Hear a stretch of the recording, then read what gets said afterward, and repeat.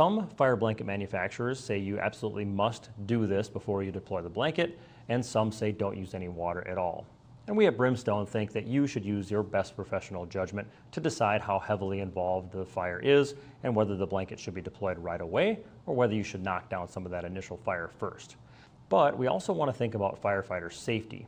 The fact that you're approaching the vehicle to deploy the blanket could get you in close proximity to the high heat of the vehicle and therefore might damage your PPE or cause any you know, undue risk. So if you feel like it's more appropriate to knock down the fire first before deploying the blanket, absolutely do so. Remember that the smoke being emitted from the electric vehicle batteries are a mix of potentially hazardous and potentially flammable gases. So you might want to set up a positive pressure fan to blow those gases away from the firefighters as they deploy the blanket, or even use a hand line on a fog setting to push the gases in front of the firefighters as they deploy. This will keep them out of the hazardous smoke, and if a vapor cloud ignition does occur, it'll push that vapor cloud away from them as well.